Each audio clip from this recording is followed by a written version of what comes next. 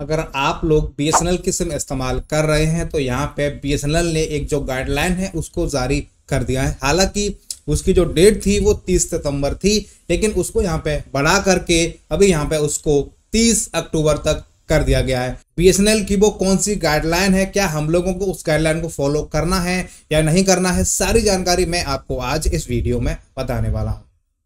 आप लोगों को पता होगा, आज की डेट में जितनी भी टेलीकॉम कंपनी है एयरटेल है जियो है वो यहाँ पे हमें 5G प्रोवाइड करा रही है।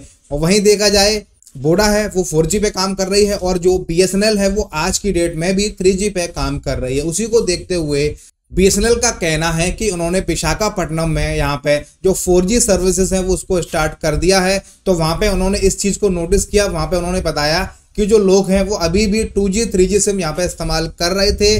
4G आने के बाद भी उनके मोबाइल में 2G और 3G जो स्पीड है, वो यहाँ पे उनको मिल रही थी। तो ऐसे में उन लोगों को क्या था? अपनी सिम में उसको उन्होंने अपडेट किया, फिर उनकी जो स्पीड है, वो यहाँ पे फोर आना शुरू हो गई।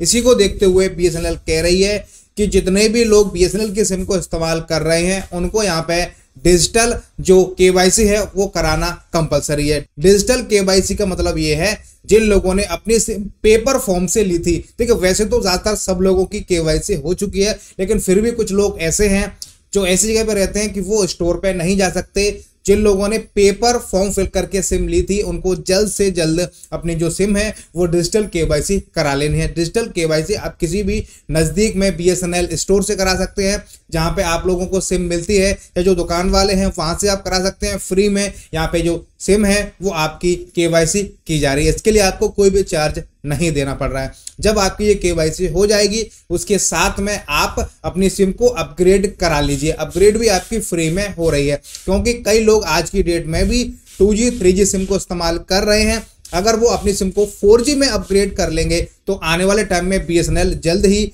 4G को लॉन्च कर देगा। फिर आप लोग जब 4G को इस्तेमाल करेंगे तो आपकी जो स्पीड है वो 2G 3G आएगी। अगर आप अपनी सिम को अपग्रेड कर लेंगे 4G में तो आपका प्रॉपर जो 4G की स्पीड है वो आपको मिलने वाली है। वैसे भी आप लोगों ने देखा होगा एयरटेल हुआ जियो हुआ बी हुआ, उनके जो प्लान है वो बहुत ज़्यादा महँगे हैं। आज की डेट में भी अगर आप बी के प्लान को चेक करेंगे तो बहुत ही सस्ते हैं और नॉर्मल व्यक्ति उनका जो रिचार्ज है वो आराम से यहाँ पे करा सकता है।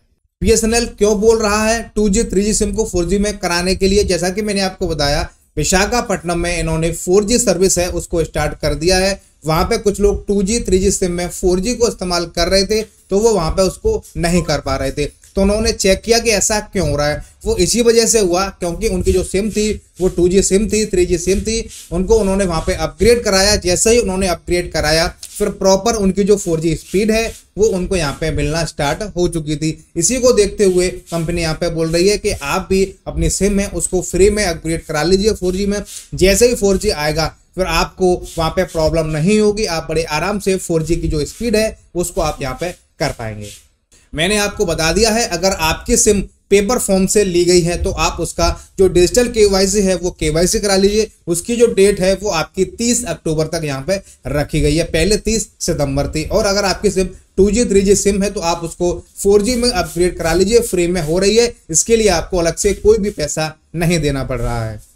देखिए BSNL की जो गाइडलाइन थी, मैंने आपको बता दिया है। अब वो आपके ऊपर है, आप उसको अपग्रेड करना चाहते हैं या नहीं करना चाहते हैं, वो आपकी मर्ज़ी है। वैसे फ्री में यहाँ पे आपकी जो 2G 3G सिम है, वो 4G में अपग्रेड हो रही है। अगर वीडियो में आपको कुछ समझ में नहीं आया है, आपको कुछ पूछना है तो आप हमें कमेंट कर सकते हैं।